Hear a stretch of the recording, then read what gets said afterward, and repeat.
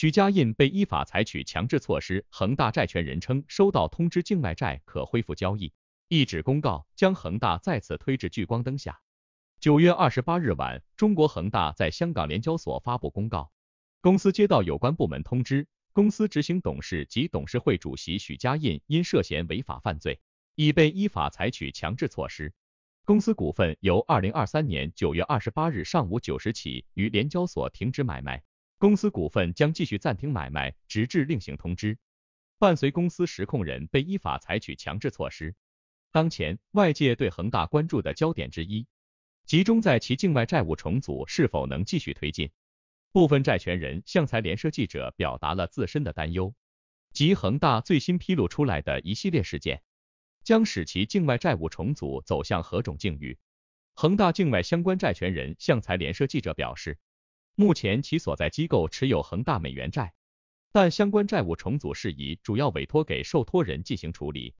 协议安排会议取消后，其一直在关注债务重组进展。之前参加重组的债都不能交易了，但今天收到通知，已经可以恢复交易。上述恒大境外相关债权人今日晚间告诉记者，而境外债可恢复正常交易，是否意味着之前谈的重组方案已失效，需要重新谈，还是存在其他调整的可能性，仍不得而知。此前，在九月二十二日，恒大发布公告称。取消原定于九月二十五日天基和景城和九月二十六日公司有关建议重组的相关协议安排会议。九月二十四日，恒大再次公告表示，由于附属公司恒大地产正被立案调查，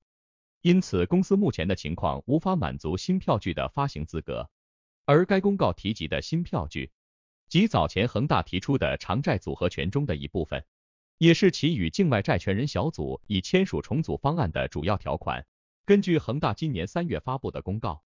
恒大将通过发行新债券对原债券进行置换。新债券年限四至一二年，年息百分之二至百分之七点五，前三年不付息，第四年初开始付息，付本金的百分之零点五。重组方案中一个重要前提条件无法达成，意味着恒大对方案进行表决前，需对境外重组方案进行调整。而如何调整，又是否能调整成功，存在较大挑战。值得一提的是，恒大今晚发布公告前，九月二十五日即本周一，其内部仍在正常召开周度例会。财联社记者获悉，上述例会以视频连线方式召开，恒大各项目总参与了会议，会议组织者为恒大行政总裁肖恩。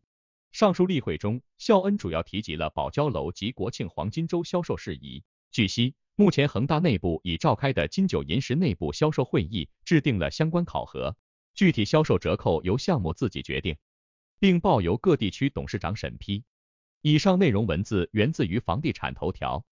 感谢观看、订阅、点赞与分享转发。